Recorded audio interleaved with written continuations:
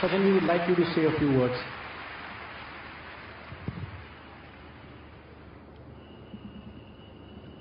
Good evening, friends.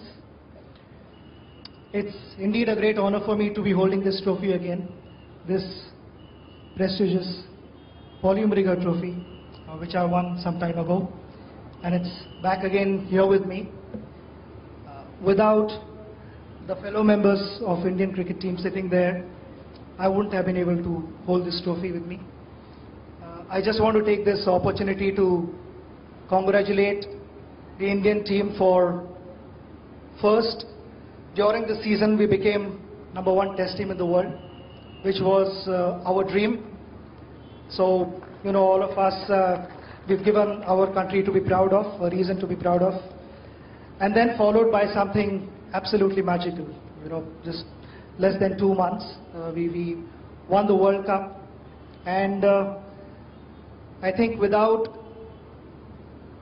the effort of all the teammates there and some terrific leadership by MS Dhoni, this would not have been possible. And also not to forget the support staff uh, who've, who've worked uh, hours and hours behind the scene and uh, planned various things for us. Then it was left up to us to go out and execute those plans.